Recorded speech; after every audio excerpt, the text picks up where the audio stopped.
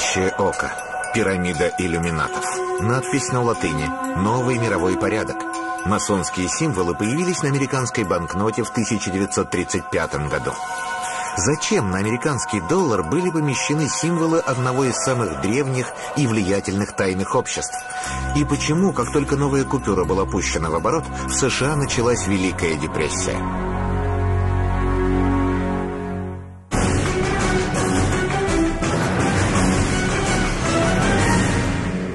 Периоды войн, революций и экономических кризисов мы начинаем задумываться, что это происходит не просто так. И все это организовано некими тайными обществами, которые управляют миром из-за кулис. Что можно сказать о том, что тайные общества, как говорится, правят миром? Тайных обществ масса. Что они из себя представляют, не знает никто. Недавно группа американских математиков провела исследование и доказала, что ряд крупных компаний оказывает влияние на жизнь всей планеты. Они выявили с помощью математической модели 147 таких компаний. 147 компаний, транснациональных корпораций, то, что называется ТНК, да, сокращенно. Столько же богатейших людей мира, владельцев самых крупных корпораций, по одним данным 150, по другим 120 человек, в 1954 году создали закрытый клуб, получивший название Бильдербергский. Мы можем смело предполагать, что связи Бильдербергского клуба, клуба и этих вот избранных компаний, скорее всего, очевидны. Возможно, это и есть то самое загадочное теневое правительство, которое управляет миром сегодня. Деятельность Бильдербергского клуба окружена тайной. В клубе соблюдается строгая иерархия. И реальная власть сосредоточена в руках нескольких человек. Журнал Forbes, когда печатает богатейших людей мира, если кто-то возьмет на себя желание полистать его, то с удивлением увидит, что там нет фамилий Рокфеллер, Оппенгеймер, Ротшильд. А, Дюпон, Морган и так далее, и так далее, Тайнс. То есть как раз богатейшая десятка вообще в журнал Forbes не ходит, как это неудивительно. Все дело в строжайшей конспирации. Богатейшая десятка раз в год собирается на одном из островов Карибского моря. Что происходит за закрытыми дверями, неизвестно.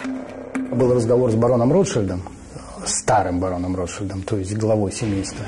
Я его спросил, а вот действительно, что вот масоны, они что-то из себя представляют о мировой закулисье, о мировом правительстве. Он сказал, ну что вы, что вы, мы тут собираемся, стареющие джентльмены, поговорим о музыке, о культуре, о живописи. Сделал паузу, добавил, а на завтра цены на нефть обвалятся. Вот это его дословные слова.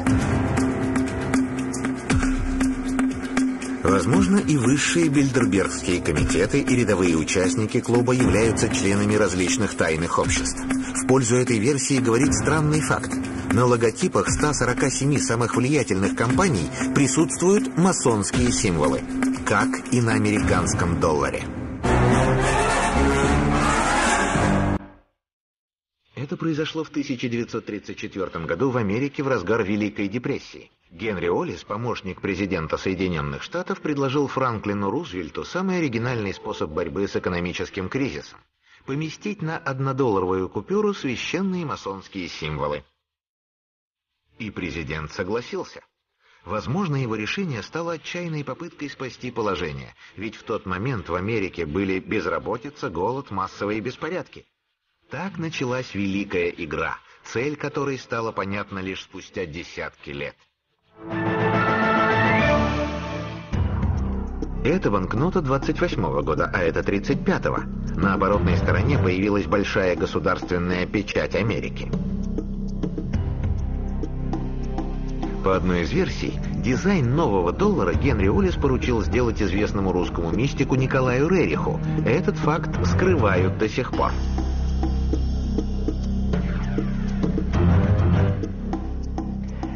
Семья Рериха была связана с масонством во многих поколениях. Дед художника э, входил в, в рижскую э, масонскую ложу, а родственники его матери были членами э, ордена э, розенкрейцеров. В 1935 году, во время своего третьего и последнего пребывания в Америке, Николай Рерих якобы тайно работает над новым дизайном доллара под псевдонимом Сергей Макроновский. Что заставило создателей купюры тщательно запутывать следы. Скорее всего, Генри Оллес действовал по поручению очень влиятельных людей.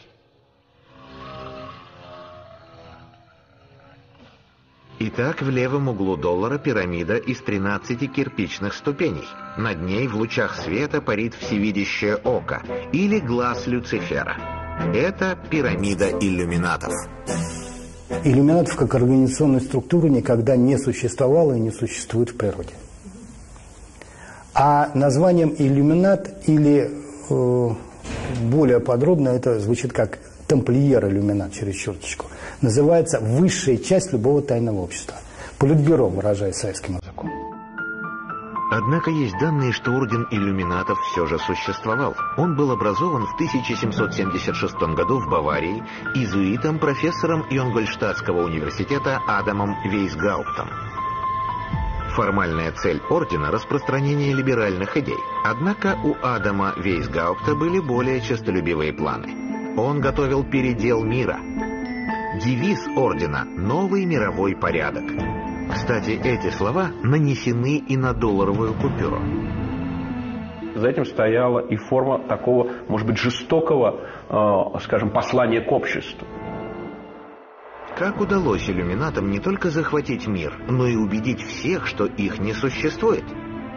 План был дьявольски прост – внедрить братьев-иллюминатов в масонские ложи и захватить контроль над ними – если бы иллюминаты на, звучали на греческом, то они звучали бы очень нам хорошо знакомо. Они бы звучали Люциферы. Вот. Но для того, чтобы не использовать так хорошо всем знакомое звучащее, его перевели на латыни. Они стали звучать иллюминаты. Что такое Люцифера или иллюмината, если э, дословно перевести? Это или сияющие, или просвещенные. Возможно ли, чтобы все великие потрясения, которые переживал мир, были делом их рук? Мы понимаем, что Великая Французская революция не могла бы произойти без участия членов тайных обществ. Мы понимаем, что Великая Американская революция, которая э, велась Джорджем Вашингтоном, не могла бы, наверное, состояться, если бы не содействие, э, скажем, масонов. Это лобби, это и политический клуб, и, и, и место для мистических различных размышлений. Все это в одном, в одном узле. Да? Февраль 1917 года власть в России переходит к временному правительству, царь отрекается от престола, и практически все члены временного правительства – это члены масонских организаций. Случайно ли совпадение, что на мировой валюте присутствуют символы теневого правительства, которое правит миром? Миром правит некое мировое правительство, мировая закулиса – Э, вот собирается несколько человек, там, 10, 20, 30, и решают все проблемы, как нефть должна упасть, как золото должно упасть, в какой стране сделать революцию. Тайные общества существуют и сегодня. Они хранят древние знания, занимаются мистикой и управляют миром. Но о них известно так мало, что создается впечатление, что это всего лишь домыслы. И все же, недавний пример – Революция роз в Грузии в 2003 году. Всюду разбрасывались розы, а затем страна берет себе флаг Ордена рыцарей Святого Гроба Господня, белое полотнище с пятью красными крестами. Вы видите тайный обряд посвящения в ученики. Съемки сделаны скрытой камерой в ноябре 2011 года в одной из масонских лож Израиля. А это монастырь Святого Георгия в Иерусалиме. Место таинственное и непонятное. С одной стороны, это обычный храм, но почему-то многие иконы, украшающие его, противоречат христианскому канону. Раньше там висела самая древняя икона Святого Георгия, на которой Георгий не убивает дракона. А стоит Георгий и стоит дракон. Мило разговаривает, и дракон ему протягивает в своих лапках яблоко. Яблоко – это плод знания. Именно в монастыре Святого Георгия собираются представители тайных обществ. Достаточно взглянуть на эти подушки с древней масонской символикой и современными датами. Тайные общества, тайные организации, они очень э, берегут э, покров, э, накидывают покров тайны на то, что не дано, не дано знать широким массам. Что скрывают эти люди и почему они так тщательно охраняют свои секреты? Есть версия, что им известны древние знания, оставленные на Земле иными цивилизациями. Магические артефакты, дарующие власть, деньги и славу. Из-за них вот уже несколько тысячелетий идет настоящая война, о которой не подозревают обычные люди. Существует легенда о союзе девяти неизвестных. Возможно, эти девять бессмертных охраняют древние знания и берегут планету от уничтожения. В их руках находится мистическая власть над миром, а вокруг них сформировалась целая сеть тайных обществ. Есть такая наука конспирология, которая как раз занимается изучением истории тайных обществ и его, их влияния на историю. И конспирологи говорили о том, что, в принципе, такое глобальное управление миром происходит э, вот, э, вплоть до того, что всего лишь несколько человек управляют миром, там, 9 неизвестных так называемых, э, которые вот испокон веков руководят процессом, прогрессом вообще развитием цивилизации и его контролируют. По одной из легенд, Союз был создан во времена, описанные в индийском эпосе Махабхарата. Именно тогда произошла битва землян с инопланетянами, в которой применялось оружие богов. По поражающему эффекту его можно сравнить с современным ядерным или биологическим оружием. О девяти неизвестных упоминает древнегреческий философ Платон. Он называет их бессмертными потомками девяти царей Атлантиды. Атель на древнем языке означает «власть». Значит, атланты — это властители. После Вселенской катастрофы, когда исчезла Атлантида, они отправились в Египет, чтобы сохранить тайное оккультное знание — Познание, которое зиждется прежде всего на том, чтобы вот как-то узнать некие тайные пружины, э, управляющие миром, историей, человеком, человечеством, и при этом сохранить это знание при себе. То есть э, э, только посвященные могут быть причастны к этим тайнам. По легенде, сакральные знания были нанесены на магический кристалл Меркабу и за ним несколько тысячелетий идет настоящая охота. Под Ростовом находится какой-то э, необычный объект э, в форме яйца по одним из древних, или кристаллический объект, как они говорят, кристалл жизни, так называемый. Это находится под Ростовом в одной из пещер. Кто находится рядом с этим кристаллом, тот э, начинает наполняться жизнью и, и начинает обладать сверхспособностями. Мер, свет, К, дух, Ба, реальность. Так переводится это слово с древнеегипетского. В других языках Меркаба часто переводится как «небесная колесница». Кристалл Меркаба хранит тайну управления пространством, временем и человеком. С его помощью можно совершить переход в параллельные миры. Внешне Меркаба представляет собой трехмерный символ масонства – звезду Давида. Возможно, древние мудрецы охраняют именно эту реликвию. Ведь если посмотреть, все тайные общества ведут свою историю от древности, как они говорят. Ну, там, масоны от древнеегипетских жрецов, Розенкрейцер от древнеегипетских жрецов, а, или еще дальше там от Атлантиды, от Лемурии, от Му, тамплиеры то же самое. Существует древнее предание о подземном храме Семи Теней, который построили в подземельях Ростова-на-Дону человекообразные существа, населявшие эти места тысячи лет назад.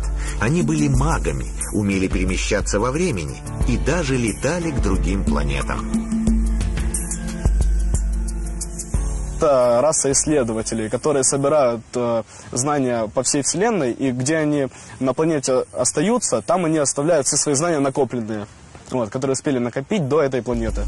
Предание называет этих существ стиксами, так же, как и реку, разделяющую наш мир с тонким миром мертвых. Э, и существует такая инопланетная цивилизация, как стиксы. Они э, в основном обитают в воде, и они специально вырыли подземелья возле Дона, возле реки, вот, чтобы им легче было туда как бы заходить. По легенде, в одном из подземелий стиксы хранили магический артефакт «Кристалл жизни». Другое название кристалла – Меркаба. Он изготовлен по инопланетной технологии и является источником дешевой энергии. Генерируя энергию Солнца и Луны, стиксы с помощью этого магического кристалла управляли гравитационными и электромагнитными полями планеты и создавали пространственно-временные воронки, через которые перемещались в параллельные миры. Но вечная батарейка оказалась опасным оружием. Если кто-то зайдет в храм, э, то он должен, э, он получит все эти знания, но он должен остаться там и охранять э, как бы эти знания. Вообще называется храм семи теней, потому что по легенде охраняется семью тенями. То есть семь адептов этого клана. Храм семи теней существует до сих пор. Многие спускаются в подземелье Ростова-на-Дону, чтобы найти магический кристалл, но это не удалось никому. Куда исчез древний артефакт? Возможно, он скрыт в параллельном мире.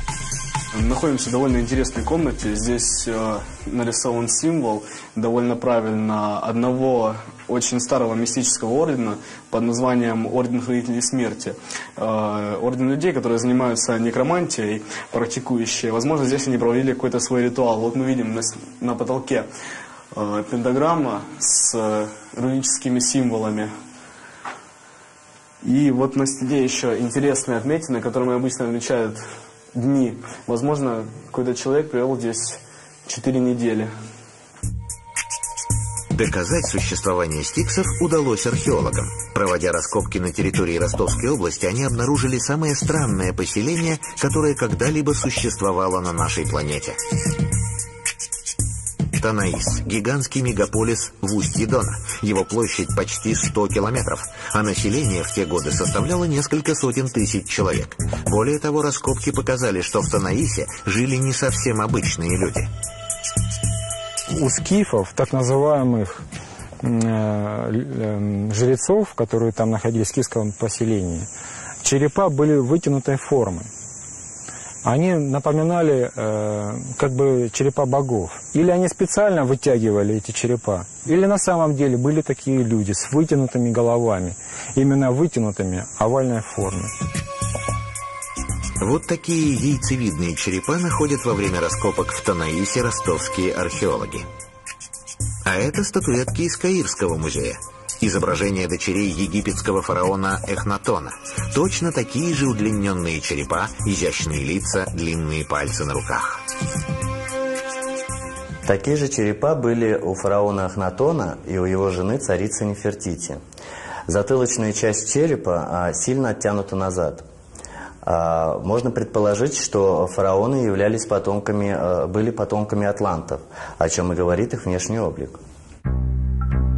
Скорее всего, в Танаисе жили атланты. Получается, что стиксы и атланты – один и тот же народ.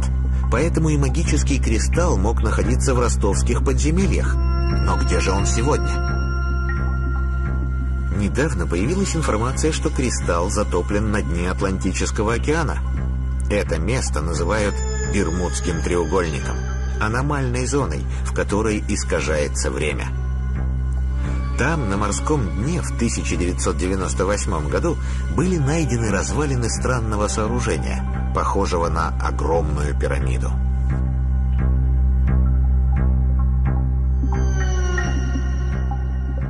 Ситуация в том, что мы реально всегда и всю жизнь знали со времен самых-самых древних – что есть э, правда для элиты и есть правда для э, масс.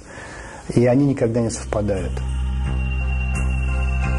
На севере европейского континента существует еще один подземный тайник. Он построен цивилизацией, которая появилась на Земле намного раньше Атлантиды. Это Гиперборея. Возможно, магический кристалл находится именно там. Не зря это место до сих пор притягивает тайные общества всего мира. Кольский полуостров, горный массив Луяврорт или лавозерские тундры возвышается более чем на километровую высоту. Этим горам 350 миллионов лет. Луяврорт представляет собой полуразрушенный вулкан, в центре которого гигантский 25-метровый кратер Сейдозера, а по периметру 12 небольших озер-кратеров. Геологи называют их цирками – вот эти цирки, они, скажем так, по своему внешнему виду и по своему, по своему генезису, они практически опровергают теорию геоморфологии. На Луя-Врурте никогда не было вулканов. Откуда же тогда взялись все эти кратеры?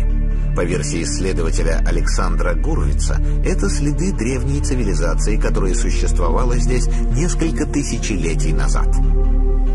Если Гиперборея была достаточно развитой цивилизацией, в том числе технически развитой цивилизацией, о чем, скажем так, говорят люди, занимающиеся этой темой вплотную,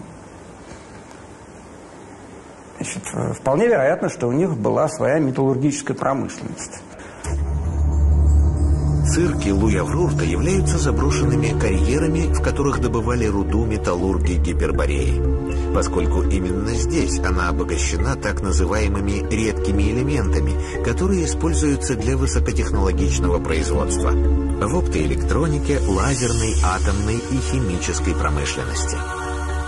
Представлял собой э, некое такое хранилище, хранилище э, реальных культурных ценностей Гипербореи.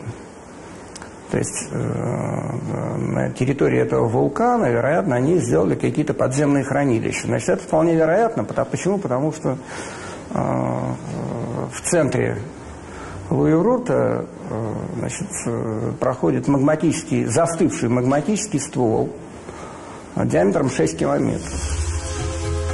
Застывая, лава сжимается, и вокруг нее образуются огромные подземные пещеры. Именно там мог быть спрятан магический кристалл Меркаба.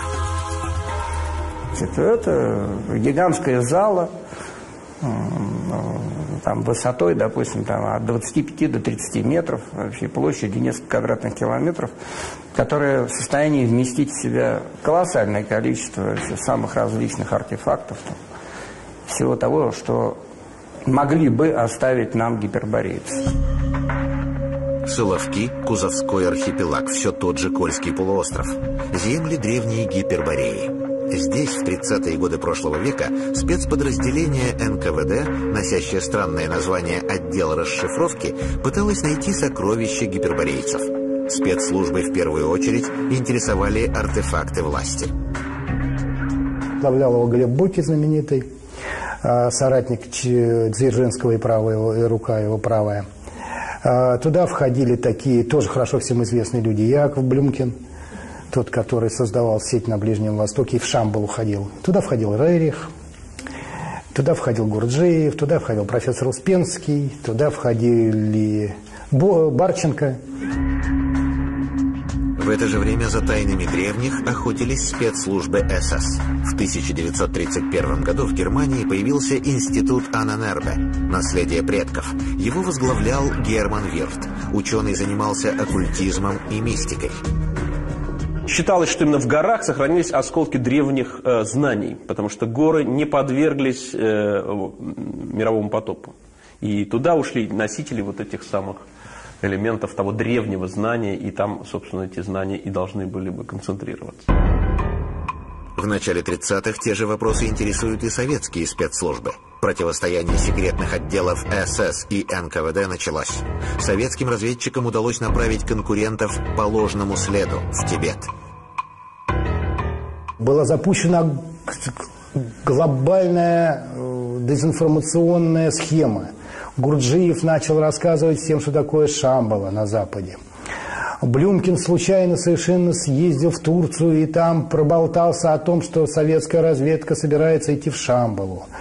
Э, саму экспедицию возглавляла известная личность Николай Рерих. Все. И тут же в Шамбалу бросились немецкая разведка, английская разведка, японская разведка, французская разведка. То есть знаменитая вот эта вот битва за Шамбалу, такой на перегонки, на убой. А в это время тихо, спокойно, глубокий начинает изучать Соловецкий лабиринт. Предполагают, что через лабиринты можно было попасть в параллельный мир и древние пещеры гиперборейцев, туда, где находится магический кристалл Меркава. Через лабиринты были такие версии, я не знаю, подтверждены они или нет, через лабиринты входы в э, параллельные измерения. На островах появляется Соловецкий лагерь особого назначения. Туда собирают известных ученых, мистиков и философов. Им создают все условия для исследований. Из слона, из советского лагеря особого назначения, кроме тех, кто умер естественной смертью, например, Флоренский, который туда чехоточным приехал, и все-таки два года там еще прожил, все остальные вернулись назад и заняли очень большие посты в советской номенклатуре. Есть версия, что им все-таки удалось попасть в параллельный мир. Но магический кристалл власти не был найден. Но есть еще один след, ведущий к Меркабе и к девяти мудрецам.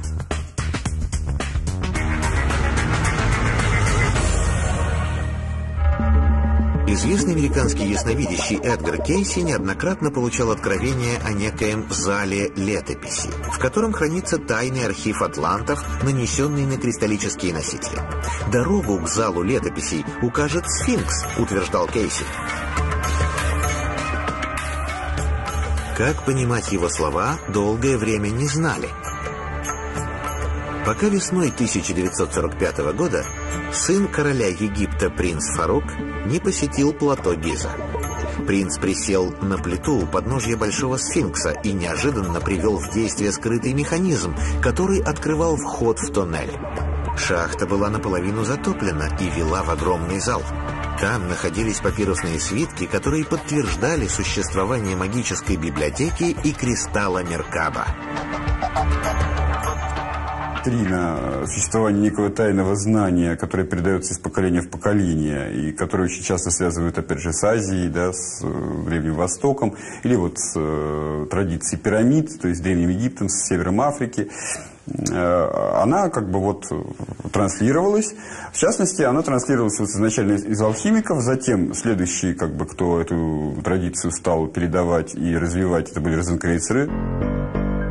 Розенкрейцеры, рыцари креста и розы. Вначале они именовались Великим Белым Братством.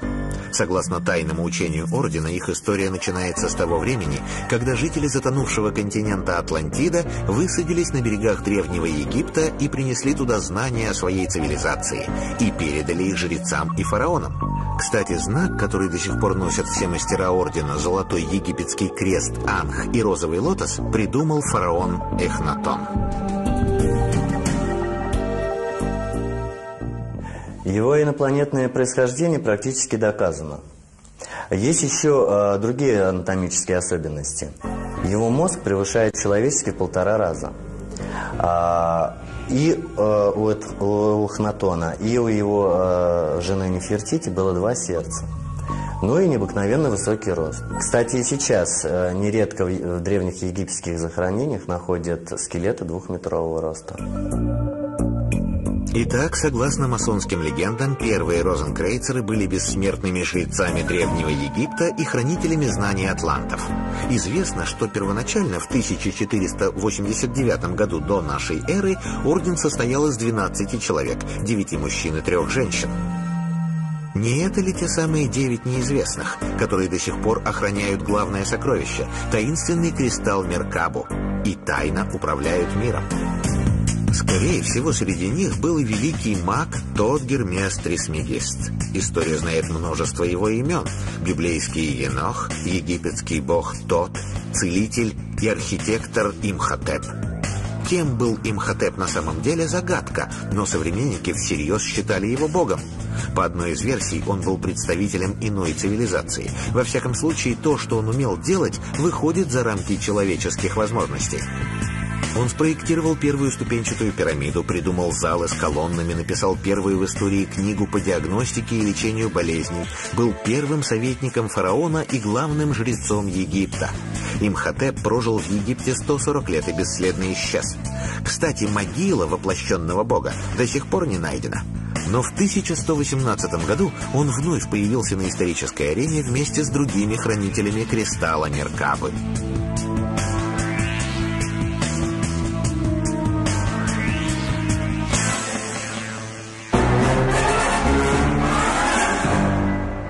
Здесь, на Храмовой горе в Иерусалиме, началась известная нам история тайных обществ. В 1118 году, после первого крестового похода, девять рыцарей дали обет охранять паломников, которые шли поклоняться святыням Иерусалима. Резиденция братства находилась на Храмовой горе в Иерусалиме, там, где некогда был древний храм Соломона.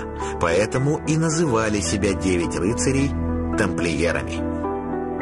Это не храмовники, как нам все время говорят, что там от слова «храм». Нет, там от слова «башня» или по-русски «закром» или «хранилище». Тамплиеры – это хранители, а не храмовники. Тот, кто в любом обществе хранит основную идею этого общества и общемировую идею, и следит за тем, как, что происходит в обществе, ну, у нас по блатному это смотрящий. История тамплиеров с самого начала полна странностей и недомолвок.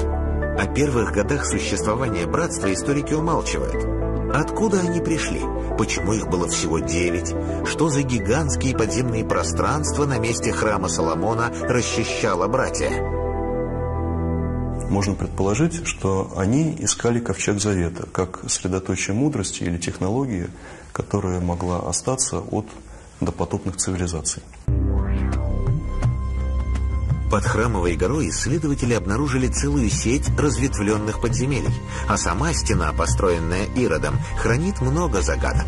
Например, в основании фундамента древние мегалиты.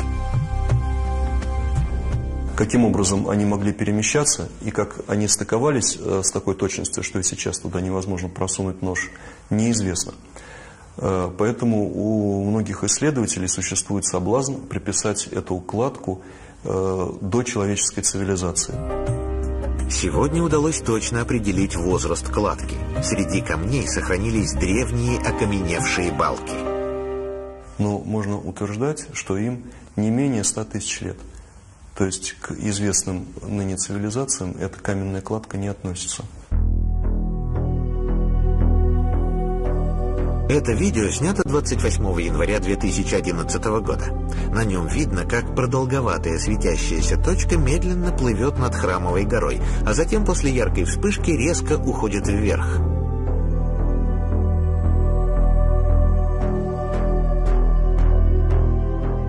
Версия, что над Иерусалимом маневрировал военный самолет-беспилотник, была опровергнута в тот же день. Дело в том, что все полеты в этой части Иерусалима, где расположены святыни, строго-настрого запрещены. Возможно, это были пришельцы. Масонские организации не отрицают их присутствие на Земле.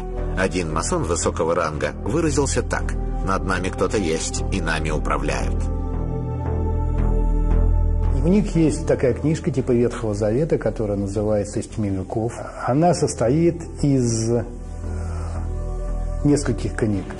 Книга богов, книга богов и людей, книга людей. А, о том, и книга богов, в книге богов говорится о том, как э, с инопланетной цивилизацией прилетели на Землю и просто решили здесь посмотреть, как все будет. Было два вида богов, скажем так, два вида. Один вид богов это, ли, это те, кто прилетел в созвездие Ориона, а другой вид богов те, кто прилетел в созвездие Лебедя. Ночью 5 ноября 2001 года в городе Игер, штат Аризона, был застрелен Уильям Милтон Купер, лидер направления, известного под названием «Теория заговора». В 1989 году он направил так называемую петицию обвинения членам Американского Сената и Палаты представителей. Документ содержал историю контактов с пришельцами, начиная с 1936 года. Петиции обвинения были фотографии пришельцев, снимки вскрытия их тел, виды НЛО снаружи и изнутри, и даже данные об инопланетянине, которого обнаружили на месте крушения НЛО в Розуэле. Купер раскрывал секрет одного из самых невероятных мировых заговоров. Большая часть нашего технического прогресса со времен Второй мировой войны, писал Купер, обусловлена освоением технологий пришельцев в зоне 51. Ну, началось с Эйзенхауэра, потом с Труманом там. Дело в том, что э, они же заключили договор в каком плане, что они могут похищать людей так, взамен на какие-то технологии. 1954 году президент Эйзенхауэр подписал секретный исполнительный меморандум NSC 5410 о создании комитета под названием Majority 12. Он вел надзор и контролировал всю тайную деятельность в отношении внеземных цивилизаций. В состав Majority 12 вошли директор ЦРУ Ален Даллес, Нельсон Рокфеллер и государственный секретарь обороны Чарльз Уилсон. Могущество этого тайного общества было настолько велико, что никто после Кеннеди не набрался мужества сообщить американцам всю правду об НЛО. Джон Фиджеральд Кеннеди, выдающийся президент Соединенных Штатов, за 10 дней до своей гибели обратился в НАСА и в ЦРУ с просьбой выдать ему файлы про НЛО. Через 10 дней его убили, и вот сейчас вот рассуждения такие, что убили, потому что он не в свое дело полез. Возможно, он собирался обнародовать информацию о договоре с инопланетянами. Тем более, что перед этим он снял с поста директора ЦРУ Алена Даллеса и все его ближайшее окружение. Кеннеди был застрелен утром 22 ноября 1963 года в Далласе, штат Техас.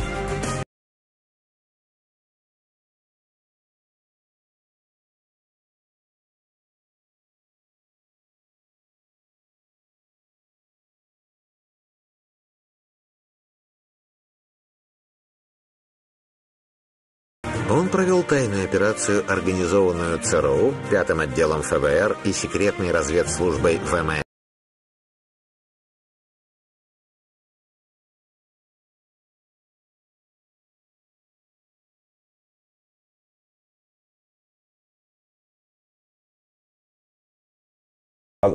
Пробную партию однодолларовых купюр, где было просто написано «1 доллар США».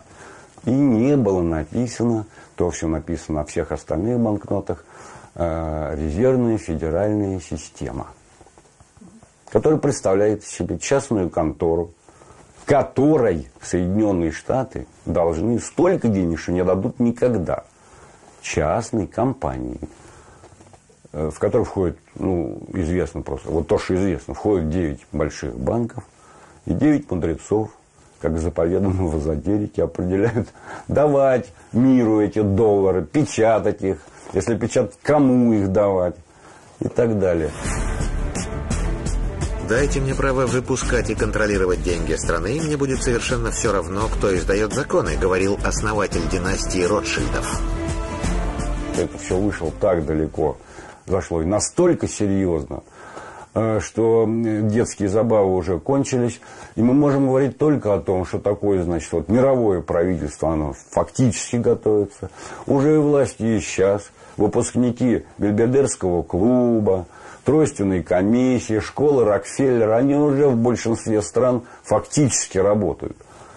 Причем есть инопланетяне. Есть данные, что в руках мирового правительства не только финансовые системы, но и новейшие виды вооружений – ядерное, биологическое и информационное оружие. Блеф про озоновые дыры. Совершенно кошмарный. Какие деньги уходят на борьбу с озоновыми дырами. Никаких озоновых дыр просто не существует. Об этом все геофизики знают. А, очередная сказка про глобальное потепление.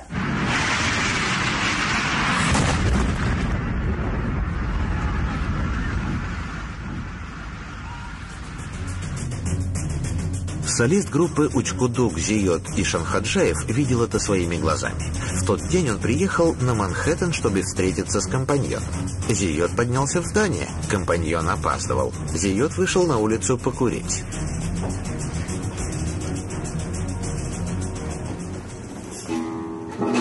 Помню только вот тот момент, когда спустился, взял сигарету и как-то зажег зажигалку, и такой шум находится в аэропорту в этот момент, а взлет самолета. Такое вот было ощущение у меня. Но это ощущение дол- э, не заставило долго ждать, и когда этот самолет врезался в это здание, я еще не успел э, как бы вот, только вот прикурить.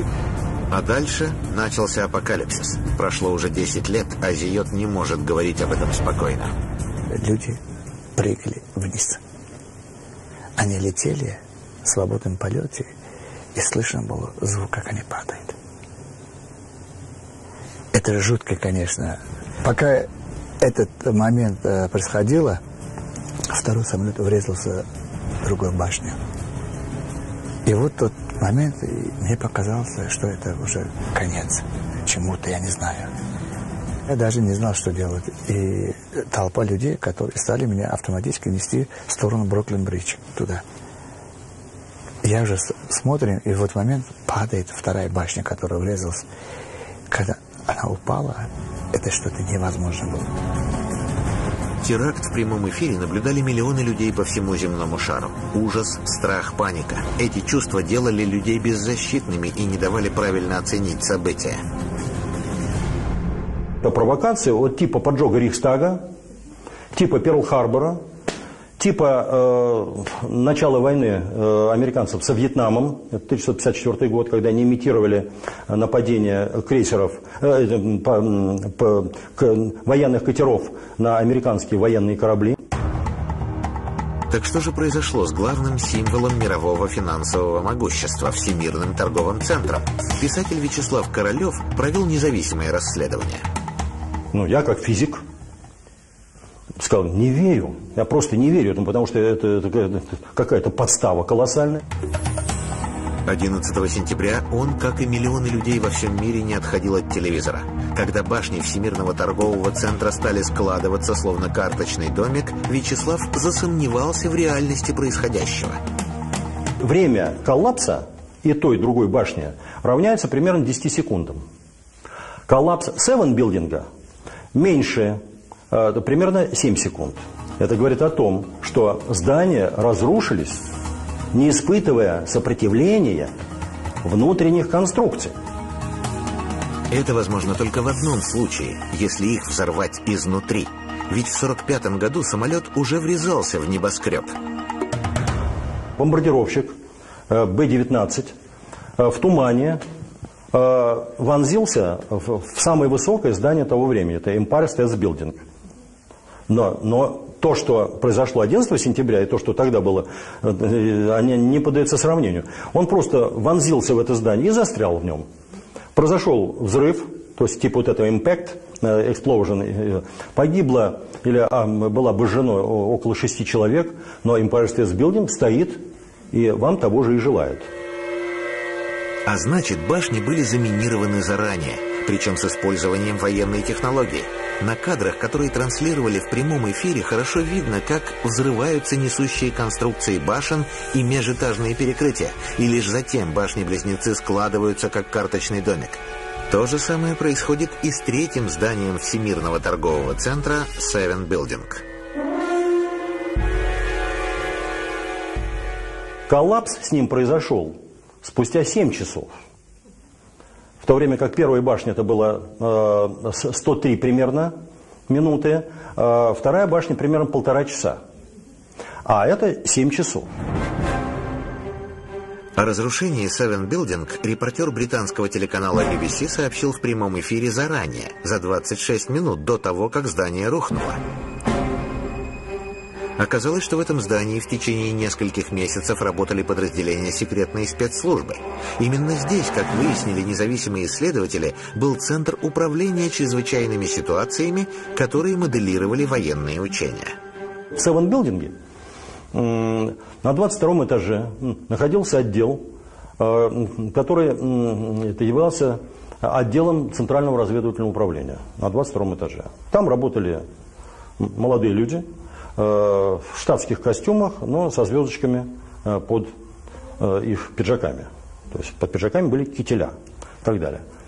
Вот. На 21 этаже был спецотдел, который подчинялся мэру Нью-Йорка. И на следующий день, это 19 сентября, значит, мэр Нью-Йорка, Джулиани, его фамилия, он должен был руководить учениями по биотерроризму. То есть они должны были в Нью-Йорке создать элемент э, такой и имитации атаки э, на места скопления людей. То есть если мы предположим, что это сделали они сами, то здесь тогда, так сказать, очень четкая картина вырисовывается. Значит, спецслужбы были не просто готовы к этой ситуации, они контролировали ее. В это же время и в этом же месте 11 сентября 2001 года военно-воздушные силы США совместно с наземными службами гражданской авиации проводили учения по перехвату самолетов, захваченных террористами. Была секретная операция, что э, арабских террористов использовали, но в темную. То есть они не знали вообще сказать э, свою судьбу. Э, им разрешили это захватить самолеты, то есть захват был. И они летели. И, и произошла имитация захвата. И вот когда, значит, они полетели э, к цели, то есть э, в Нью-Йорк, в эти башни, произошел перехват этих самолетов. По версии Королева, с секретного аэродрома могли вылететь самолеты-беспилотники. А на экранах радаров произошла подмена. Именно самолеты-беспилотники атаковали башни-близнецы.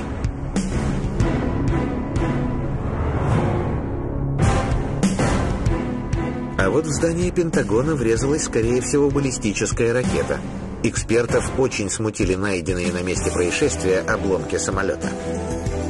Отверстие э, в стене, э, в которое якобы попал самолет, оно было меньше диаметром, чем фю, диаметр фюзеляжа самолета.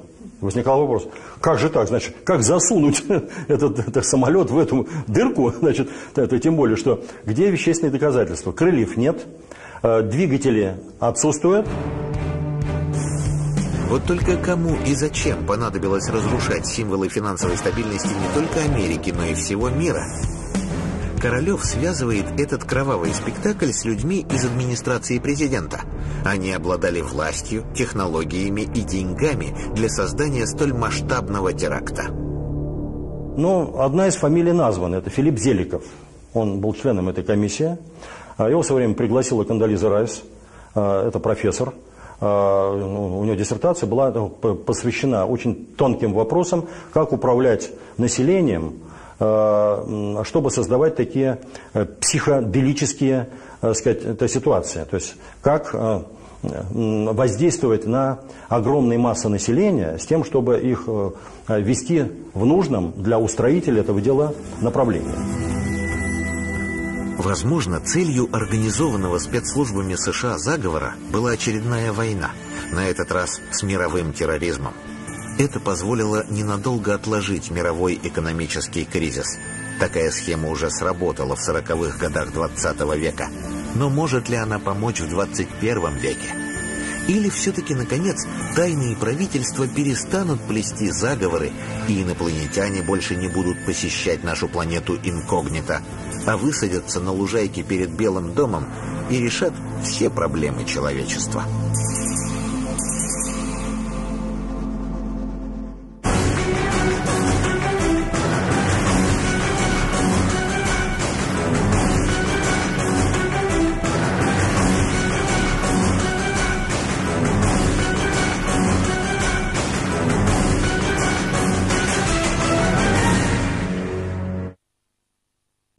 Нефть обвалятся. Вот это его дословные слова. Возможно, и высшие бильдербергские комитеты и рядовые участники клуба являются членами различных тайных обществ. В пользу этой версии говорит странный факт. На логотипах 147 самых влиятельных компаний присутствуют масонские символы, как и на американском долларе. Это произошло в 1934 году в Америке в разгар Великой депрессии. Генри Оллис, помощник президента Соединенных Штатов, предложил Франклину Рузвельту самый оригинальный способ борьбы с экономическим кризисом – поместить на однодолларовую купюру священные масонские символы. И президент согласился. Возможно, его решение стало отчаянной попыткой спасти положение, ведь в тот момент в Америке были безработица, голод, массовые беспорядки – так началась великая игра, цель которой стала понятна лишь спустя десятки лет. Это банкнота 28 года, а это 35-го. На оборотной стороне появилась большая государственная печать Америки. По одной из версий, Дизайн нового доллара Генри Олис поручил сделать известному русскому мистику Николаю Рериху. Этот факт скрывают до сих пор.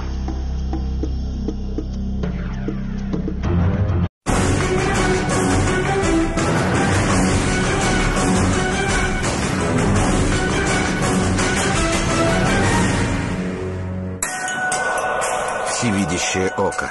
Пирамида иллюминатов. Надпись на латыни «Новый мировой порядок». Масонские символы появились на американской банкноте в 1935 году. Зачем на американский доллар были помещены символы одного из самых древних и влиятельных тайных обществ? И почему, как только новая купюра была пущена в оборот, в США началась Великая депрессия?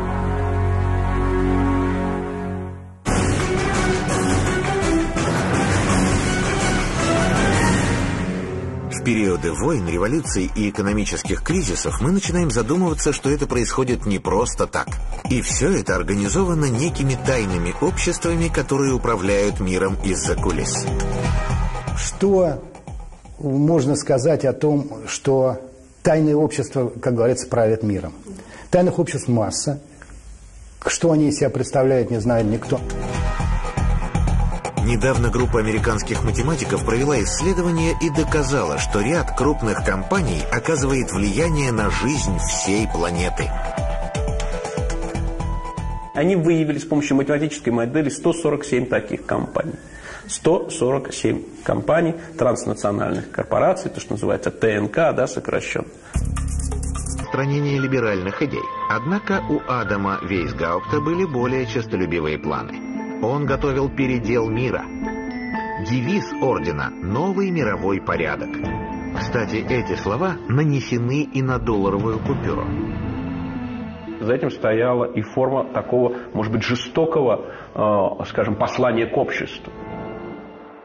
Как удалось иллюминатам не только захватить мир, но и убедить всех, что их не существует? План был дьявольски прост – внедрить братьев-иллюминатов в масонские ложи и захватить контроль над ними. Если бы иллюминаты на, звучали на греческом, то они звучали бы очень нам хорошо знакомо. Они бы звучали Люциферы. Вот. Но для того, чтобы не использовать так хорошо всем знакомое звучащее, его перевели на латыни. Они стали звучать иллюминаты. Что такое Люцифера или иллюмината, если э, дословно перевести? Это или сияющие, или просвещенные. Возможно ли, чтобы все великие потрясения, которые переживал мир, были делом их рук? Мы понимаем, что Великая Французская революция не могла бы э, произойти без участия членов тайных обществ. Мы понимаем, что Великая Американская революция, которая э, велась Джорджем Вашингтоном, не могла бы, наверное, состояться, если бы не содействие. Семья Рерихов была связана с масонством во многих поколениях. Дед художника э, входил в рижскую э, масонскую ложу, а родственники его матери были членами э, ордена э, розенкрейцеров. В 1935 году, во время своего третьего и последнего пребывания в Америке, Николай Рерих якобы тайно работает над новым дизайном доллара под псевдонимом Сергей Макроновский. Что заставило создателей купюры тщательно запутывать следы? Скорее всего, Генри Оллес действовал по поручению очень влиятельных людей.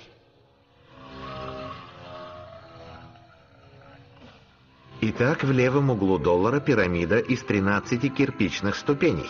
Над ней в лучах света парит всевидящее око или глаз Люцифера. Это пирамида иллюминатов. Иллюминатов как организационной структуры никогда не существовало и не существует в природе.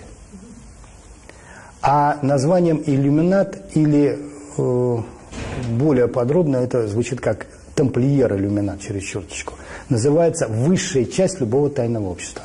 Политбюро, выражаясь советским языком.